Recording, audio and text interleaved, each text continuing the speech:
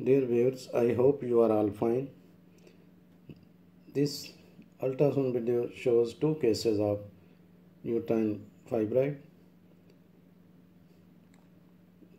The second case will follow just after the end of this video, a small video. You can see the uterus, bladder, and a uterine mass in the middle portion of the uterus near the posterior wall. The mass is round to oval in shape, is semi-solid to solid in consistency and have no fluid in its interior. Along with this mass, there are there is a small collection of debris and clotted blood in the middle and distal portion of the uterine cavity. You can see the mass and the blood and debris.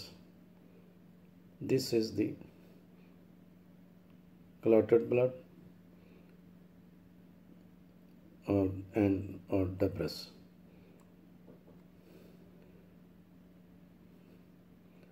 Now this is the mass and uterus. This is your bladder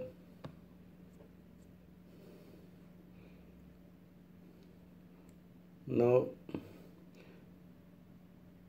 you are going to see the second video. This is the second video and it shows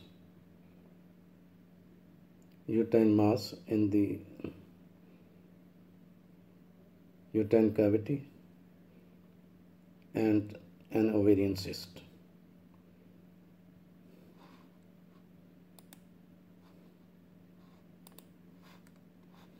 Fibroids are non-cancerous growths of the uterus that often appear during childbearing age. Fibroids range in size from seedlings undetectable by human eye to bulky masses that can distort and enlarge the uterus. Fibroids may be single or multiple. Now you can see a fibroid having a small amount of fluid also. Now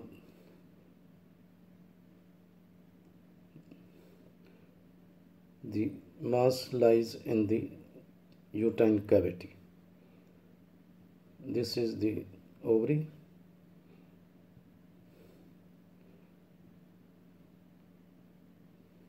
This mass is also round to oval in shape and fluid is also seen along with the semi-solid portion.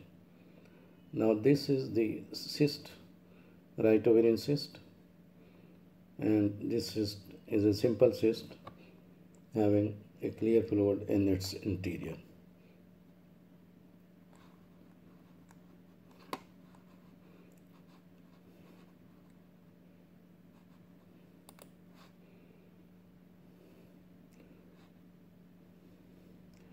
You can see useful information regarding the types of the fibroids, causes of the fibroids, and uh, some important information in the description of this video. Now this video has a small amount of blood flow in its interior. Thanks for watching. Please subscribe my channel. If you do like this video, please click the like button. Thanks.